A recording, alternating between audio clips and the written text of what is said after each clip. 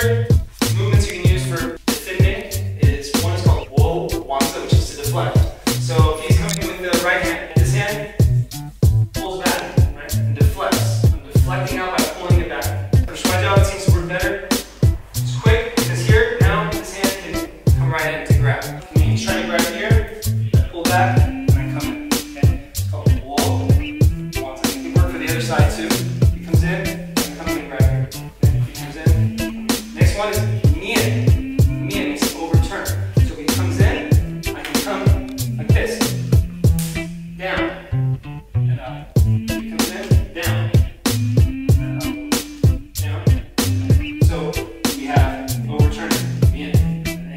We also have